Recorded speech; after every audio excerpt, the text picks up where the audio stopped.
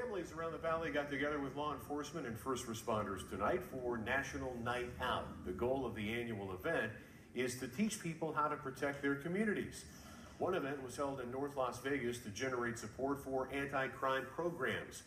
National Night Out also gives people a chance to get to know their neighbors. Action News anchor Ricky Cheese has more on one gathering at Town Square.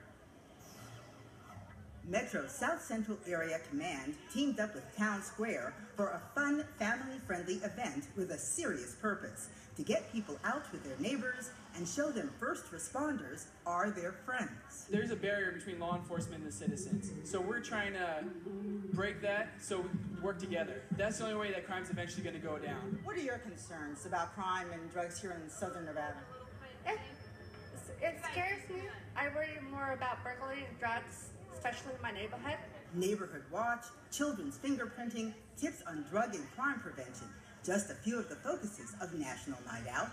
But folks also toured the tools first responders use, from Clark County Fire Department engines to Metro crime scene vans and SWAT vehicles. You always wonder about how it is in the SWAT car, and then you actually get to go up in it and then experience that. I think it's really cool, and I'm going to do a report on it in school.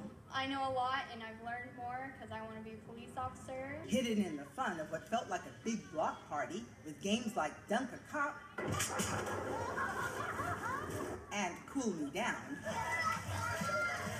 Lessons in crime prevention, such as getting people to don special eyewear that allowed them to see and feel the effects of drunk driving. Subtle ways of spreading a message that we all need to help each other be safe. Ricky Cheese, Channel 13, Action News.